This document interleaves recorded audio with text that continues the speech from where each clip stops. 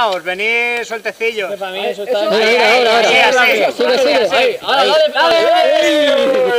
Es que toca el freno en la curva, A ver que vea esto. Eso